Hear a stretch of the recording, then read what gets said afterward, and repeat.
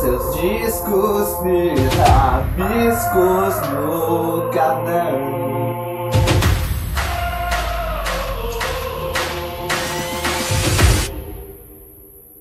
Let's go, come on.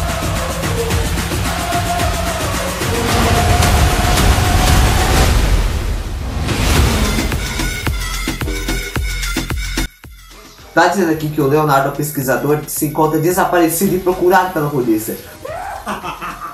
Vocês nunca vão conseguir seus poderes de volta, porque eu sou Leonardo, o pesquisador, e eu tenho o controle de tudo. Ah!